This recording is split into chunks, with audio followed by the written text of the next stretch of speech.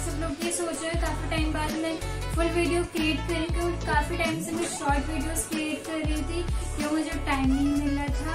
और वैसे भी पंद्रह अगस्त आने वाली है तो मैंने सोचा कि मैं आप सबके लिए लॉन्ग वीडियोस बनाऊँ। अपनी लॉन्ग वीडियोज़ का हमेशा इंतज़ार करती हूँ। तो आज मैं पंद्रह अगस्त की डेकोरेशन की वीडियो लाई हूँ होम डेकोरेशन जो कि बहुत ही इजी है और बहुत ही अच्छी है और आपको भी आई होप पसंद आएगी। और अगर पसंद आए तो लाइक भी मैं नहीं जाना। चलते ही हम डेकोरेशन करने। क्या बोल रहे तो हाय तो बोल दो। इन्होंने बोल दिया ही नहीं बोल तो मैंने वाइट शीट ली, जिसके ऊपर मैं एक कबूतर ड्रॉ करने वाली हूँ। कोई इजी सा, आपको जिस टाइप का आता है, आप भी वैसे ही कर सकते हो। मैं इजी सा कर रही हूँ ताकि जल्दी भी बन जाए।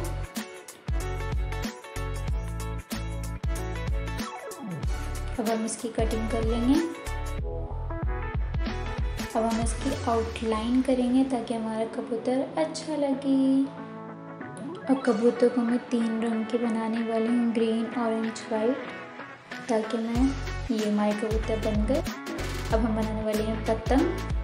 पतंग को मैंने कुछ इस तरह की शीट से काट लिया, इसको तो मैं ग्लिटर शीट का यूज़ करूँगी ताकि हमारी पतंग अच्छी लगे। और अगर आप प्लेन पेपर का बनाना चाहते हैं तो प्लेन पेपर से भी बना सकते हैं। मैं वाइट शीट पे ग्लिटर शीट को चिपकाने वाली हूँ कटिंग करके। सबसे ऊपर हम ग्रीन लगाएँगे, बीच में हम वाइट और सबसे नीचे ऑरेंज ताकि हमारे तिरंगे के रंग की छतरी वो सॉरी छतरी कह दी पतंग बन के तैयार हो जाए। बोतल के कैप से हम बीच में बनाने वाले हैं ब्लू रंग से, ताकि एकदम गोल शेप आए इस टाइप का। अब हम इसके अंदर लाइनिंग खींच देंगे। तो मेरी पतंग तो सबसे ही अलग और सबसे अच्छी लगने वाली है। अगर आप घर में ग्लिट पतंग बनाना नहीं चाहते तो आप बाहर से भी ला सकते हैं, बाहर भी मिलती है। लेकिन वो इस तरह की नहीं होती हैं, वो अब हम ऐसे पत्तियों का शेप देंगे, ताकि हमारी पतंग और भी ज़्यादा अच्छी लगे। अभी हो गया तैयार। अब हम नीचे इसके ग्लिटर शीट का ट्राइंगल लगाएँगे ताकि पतंग को और ज़्यादा शेड आए। इसे अच्छे से हम चिपका देंगे और हम ये पेपर लेंगे। अपनी पसंद कर भी नहीं सकते हो, मैंने तो चार शीट ली थी। वो पतंग के नीचे से लगाने के लिए ताकि हमारी पतंग अच्छी लगे और ज़्यादा। और मैंने तीनों पतंग सेम बनाई हैं आप चाहें तो अलग अलग भी बना सकते हैं। तो अब बारी है बलून की तो ये है मेरे पास दुपट्टा वाइट कलर का जिसके ऊपर मैं बलून को लगाने वाली हूँ। पर्दे जो ये पर्दा है इसके ऊपर मैं इस दुपट्टे को लगा दूँगी इसके ऊपर मैं बलून तो ये ढेर सारे बलून जिन्हें आपने खुला लिया है अच्छे से अब हम इन्हें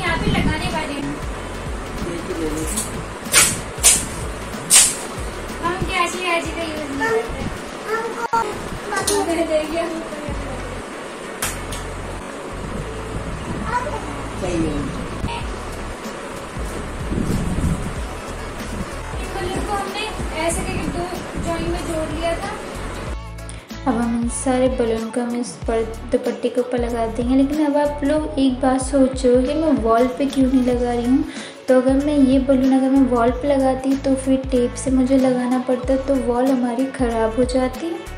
तो इसलिए मम्मा ने पहले कह दिया था वॉल पे लगने नहीं चाहिए, घर तो डेकोरेट कर रहे हो।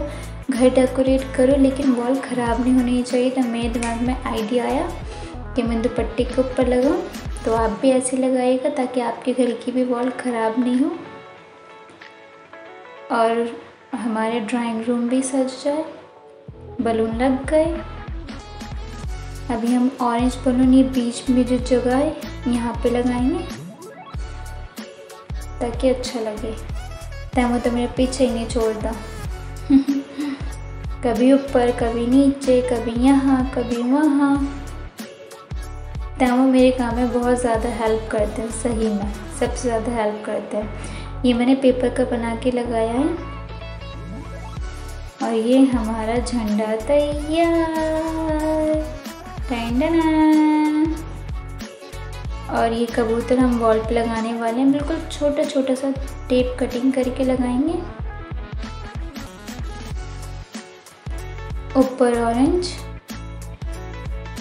नीचे वाइट सबसे नीचे ग्रीन, जैसे हमने बलून लगाए, ऐसे हम ये लगाएँगे। और अगर आपको मिला के लगाएँ तो आप मिला के भी लगा सकते हैं। मुझे ऐसे ही अच्छा लग रहा था, मैंने ऐसे लगाए हैं। और ये मैं तीन बलून को एक साथ जोड़ दिया, ये बलून वाले रिबन हमने लगा दिया है। और इससे अब हम बलून को यहाँ पे लगाने वाले हैं। मुझे खाली खाली लग रही थी जगह, इसलिए मैंने लगाया अब हम लगाने वाले पतंग, पहले टेप को हमने फोल्ड किया और वो पतंग के पीछे लगाया। और ये जो बलून रिबन है, इसके अंदर हम पतंग को टांग देंगे और एक पतंग मैंने वॉल पे लगा दी है, जो कि मम्मा को नहीं पता। और ये हमारी फाइनली लुक ये रही। तो फाइनली ड्राइंग में हमारा सच के तैयार हो चुका है। लेकिन एक कमी है, वो मेरी, क्योंकि अभी मैंने झंडा अपने गालों पे और आईब्रो के नीचे नहीं लगाया है। तो मैं वाटर कलर का यूज़ करने वाली हूँ। बेब वाटर कलर इन्हें मैं लगाऊँगी गालों पे, जिससे मैं झंडा बनाऊँगी। तो सबसे पहले मैं लाइट ग्रीन कलर अपनी पल के ऊपर लगाऊँगी, जहाँ पे हम आई लगाते हैं। एकदम बारीक करके। मैं वाटर कलर इसलिए लगाती हूँ क्योंकि ये ज़्यादा खिले हुए कलर होते हैं और ज़्यादा दिखते हैं। लेकिन अगर आप वाटर कलर नहीं लगाना चाहते हैं तो आप आई लाइनर भी लगा सकते हैं। मार्केट में हर तरह के आई लाइनर अवेलेबल हैं।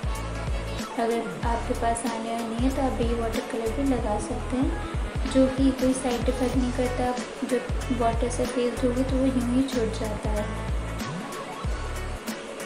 और अच्छा भी लगता है। तो मैं दोनों साइड में ग्रीन कलर लगाऊँगी। बिल्कुल बारीक बारीक ताकि बिल्कुल आई लाइनर की तरह शेप आए और हमारी झंडा भी आँखों के ऊपर बन के तैयार हो जाए वाइट कलर लगाएँगे हम ग्रीन के ऊपर लगाएँगे। बिल्कुल बारीक सा।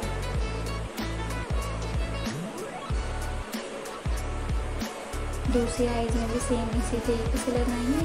अब रेड और येलो को मिक्स करके हम ऑरेंज कलर बनाएँगे, कुछ इस तरीके से। अगर आपके पास है ऑरेंज कलर तो तो फिर तो और अच्छी बात है। मेरे पास नहीं था इसलिए मैंने कलर बनाया है। और अब मैं इन्हें वाइट कलर के ऊपर लगाने वाली हूँ। हमारी आँखों पे लग गया है बारी है गालों की। सबसे पहले हम ऑरेंज कलर लगाएँगे। अब मैं सिर्फ़ एक ही गाल पे लगाने वाली हूँ। अगर आपको दोनों साइड बनाना है झंडे तो आप दोनों साइड बना सकते हैं। इसके बाद अब मैं ग्रीन लगाने वाली हूँ वाइट तो हो गया।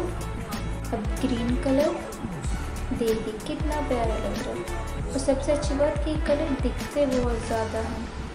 एकदम ब्राइट ब्राइट दिखते हैं। तो फाइनली मेरी लुक तैयार। तो मैंने भी झंडा अपने गालों पे, आँखों पे लगा लिया है। और अब मैं कैसी लग रही हूँ कमेंट करके ज़रूर बताना। मेरा फाइनल लुक हो चुका है रेडी और डेकोरेशन कैसी लगी? और चैनल को सब्सक्राइब करना मत भूलना वीडियो को लाइक करना अगर अच्छी लगी है तो। और कमेंट तो कर ही सकते हो, मैंने इतनी मेहनत की है, इतना सब कुछ किया है। और मैं कैसी लग रही हूँ, ज़रूर बताइएगा। बहुत ही इजी डेकोरेशन है जो हर कोई कर सकता है। नेक्स्ट वीडियो के साथ हम फिर मिलेंगे। Bye bye